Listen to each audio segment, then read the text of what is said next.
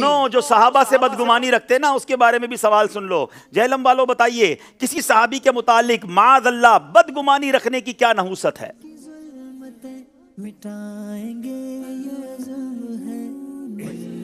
یہ گمراہی و بد مذہبی و استحقاق جہنم ہے اور نبی پاک صلی اللہ تعالیٰ علیہ وآلہ وسلم سے بغض کی علامت ہے۔ اللہ صحابی سے بغض، گویا یہ نبی پاک علیہ السلاۃ والسلام سے بغض ہے۔ اللہ ہمیں تمام صحابہ سے والہانہ محبت اور پیار عطا فرمائے اور ہمارا یہ عقیدہ ہے کہ ہر صحابی نبی، ہر صحابی نبی ہمیں صحابہ سے بھی پیار، اہل بیت سے بھی پیار اور انشاءاللہ ہمارا بیڑا پار ہے، انشاءاللہ۔ اعلیٰ حضرت کیا کہتے ہیں؟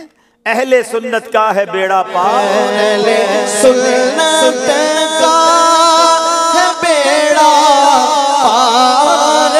اصحاب